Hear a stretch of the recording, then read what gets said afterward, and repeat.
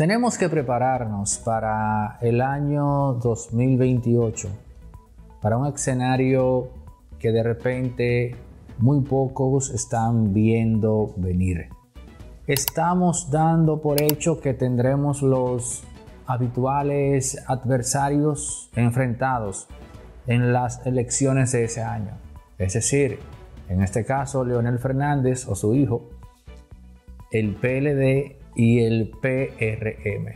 Sin embargo, Ricardo Nieves dio datos para robustecer algo que he vaticinado en otros comentarios. Pero Nieves habla de una crisis interna que está viviendo actualmente el PLD. Porque la división no terminó con la salida de Leonel, señores. En el momento mismo que se supo y o se confirmó la condición médica de Danilo Medina y que para colmo esa eh, condición médica era una que bordeaba con el imperativo de lo absoluto. Y yo llamo imperativo de lo absoluto a cuando la vida humana cesa, pues de inmediato trajo al PLD un debate que no se hubiese visualizado de no darse a conocer el padecimiento de Danilo. ¿Y cuál es? ¿Y qué va a hacer este partido cuando Danilo ya no esté? ¿Y por qué tenemos que esperar a que Danilo ya no esté para tomar la decisión de lo que tenemos que hacer? ¿Y por qué no comenzar a hacer eso ahora incluso en contra de la voluntad del propio Danilo Medina? Y la respuesta a esas preguntas son a su vez la luz que nos deja ver claramente qué está ocurriendo a este segundo en ese partido. Ahora bien, a mí me asombró ver que Ricardo Nieves dijo, ese partido cometió dos grandes errores con la selección de sus dos candidatos. Se está refiriendo evidentemente a Gonzalo Castillo y a Abel Martínez. De ambos dice Nieves que no tenían una conexión orgánica con las bases. Bueno, yo pudiera pensar que en el caso de Abel Martínez no están así. Ahora, pudiese entender por qué lo de Gonzalo, porque Gonzalo es un fenómeno propio de Danilo Medina. Y es evidente que en el único momento que Gonzalo brilló de cara a la base fue como ministro de Obras Públicas y como candidato. Y que ciertamente justo antes de eso, él no tenía networking con las bases de ese partido. Era un empresario ocupado en hacer millones en su principal actividad comercial que todos sabemos cuál es, cuál fue, cuál es y cuál será. Porque él no se va a salir de ahí porque en esa área él es el número uno por la milla, al punto de que todavía hoy día el Estado dominicano le paga millones por el uso de sus avionetas, aunque lo quieran ocultar. Porque quieren evadir el escenario o la imagen de un Estado dominicano que está arrodillado ante Gonzalo Castillo. Esa es la verdad, ¿eh? Esa es la verdad, en ese sentido. Entonces, Gonzalo Castillo y Abel Martínez fueron dos errores consecutivos, uno tras otro en el PLD. ¿Usted qué piensa de eso? Opine en la cajita de comentarios para esos fines, no.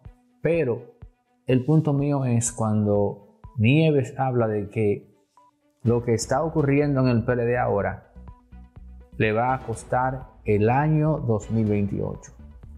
Pero si le va a costar el año 2028, no piense usted, oiga bien, no piense usted que eso significa que en el 28 el PRM va, eh, va eh, fácil.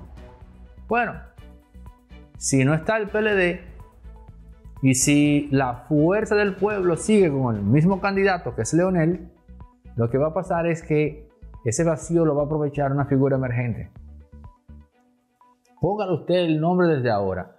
Fernando Abreu, Carlos Peña, Roque Espaillat o cualquier otro. En el 28 es su turno para brillar. Ahora, oigan esto que voy a decir hoy. Si en el 28 se vislumbra un triunfo fácil del PRM, aquella idea de Luis Abinader de reformar la constitución, no para postularse inmediatamente, sino para quedar habilitado en virtud de una nueva constitución. Ese plan de él irse para volver puede irse a la porra. Porque caramba, wow, la oposición en vez de ponerse de acuerdo, lo que hizo fue que terminó de diluirse.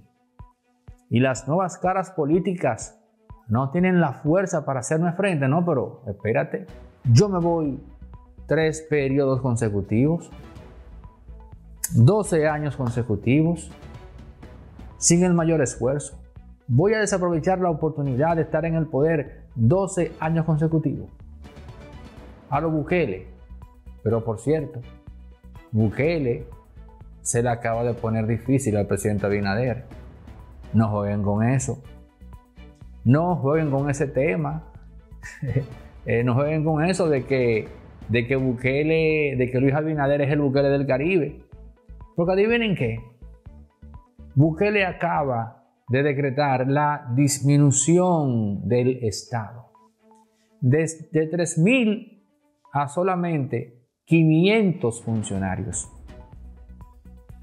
He visto a gente del gobierno colocando a Bukele y a Luis Abinader en la misma dimensión. No jueguen con candela, no jueguen con fuego, no provoquen que en República Dominicana la clase media salga a las calles a exigir la disminución del Estado. Porque por ahí viene, y apunten por favor producción, producción, Andy Dawarre, apunten ahí, llámenme por favor a Andy Dawarre por ahí viene una reforma fiscal, señores. ¿Y cómo usted le pide a un país que se demuestra de una burocracia totalmente abultada y casi inoperante una reforma fiscal para pagar más impuestos? ¿No sería más fácil hacer lo que acaba de hacer Bukele en El uh, Salvador? Disminuir, oiga bien usted, disminuir de 3.000 a apenas 500 funcionarios. Eso va a ser Bukele. No cuquen aquí a la clase media. Porque no se sabe cuál será la reacción de la clase media cuando se le confirme lo peor, cuando se le confirme que habrá una reforma fiscal inmediatamente después de las elecciones. ¿Mm? Entonces, señores, la cosa no está nada fácil. ¿eh? Elecciones 2028. El PLD, según Ricardo Nieves, va rumbo a la extinción. Es un vaticinio arriesgado, pero más asombroso fue ver cómo este comentarista, cómo este analista, cómo este intelectual plantea que Gonzalo Castillo y Abel Martínez fueron dos errores del PLD. Habría que preguntarle a Nieves si él entiende en todo caso que en el 2020 Leonel Fernández hubiese sido una, caramba, una decisión más acertada. Pero también hay que preguntarle si en efecto él entiende que el discurso ético suma o quita votos. Me refiero al tema de la corrupción, que fue un tema que, eh, que permeó al, al PLD en su ejercicio del poder.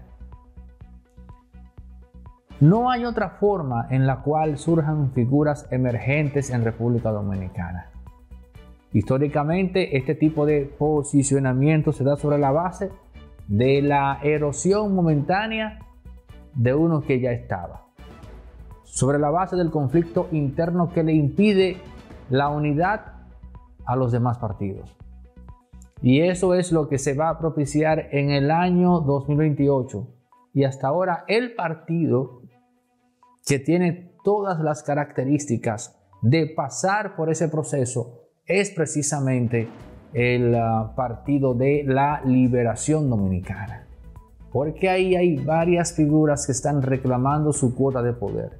Curiosamente, una de ellas es precisamente Gonzalo Castillo. Señores, les recuerdo que nuestros cuatro canales tienen por mes más de 10 millones de impresiones. Impolíticamente correcto, el otro canal, Foco Público, donde se cae el show, y que es la forma más eficiente a nivel de frecuencia para que una marca se dé a conocer. Así que en el 829-741-3061 puedes consultar todos nuestros planes y paquetes publicitarios. Gracias por tu atención. Nos volvemos a encontrar en el próximo. Farmacia Medicar GBC está abierta de lunes a domingo, sigue en pie con su descuento de un 20% y también tiene su app que pueden descargar eh, los amantes de Android y la gente también de Apple. Farmacia Medicar GBC, la de nosotros los dominicanos. Resorte Media es también productora audiovisual y aquí tenemos espacios eh, rentables para producir contenido. Pero también si tu empresa tiene una actividad fuera y va a hacer una transmisión en tiempo real, puedes contar con Resorte Media. También si necesitas alquilar equipos para filmaciones de películas o eventos, tenemos grúas de 40, 20 pies en fin, otra cosa, artista independiente que tiene que hacer un videoclip en calidad 8K, 6K eh, con imágenes eh, de stock, bueno, pues lo podemos hacer acá en circuito cerrado con los presupuestos más competitivos. Pero si también eh, requieres asesoría para la producción de contenidos en plataformas como YouTube, también puedes contar con nosotros. Resorte Media, todo lo que necesitas en todos los ámbitos cuando se trata de producción audiovisual. 829-741-361.